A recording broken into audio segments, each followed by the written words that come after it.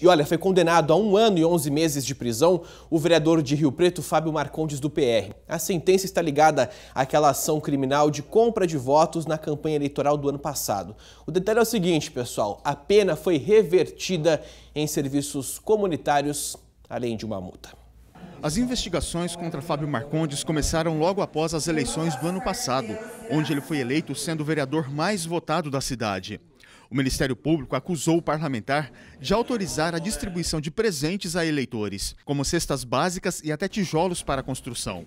Na época, a Polícia Federal cumpriu o mandado de busca e apreensão no gabinete e também na casa do vereador, onde até o celular dele foi apreendido. O que era cabo eleitoral de Fábio Marcondes no período da eleição também foi alvo da investigação do Ministério Público e da Polícia Federal.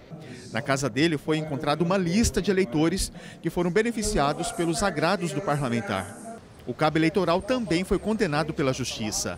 Esta é a segunda condenação de Marcondes neste processo, que foi convertida em prestação de serviços comunitários, com o pagamento de 10 salários mínimos a uma entidade assistencial de Rio Preto.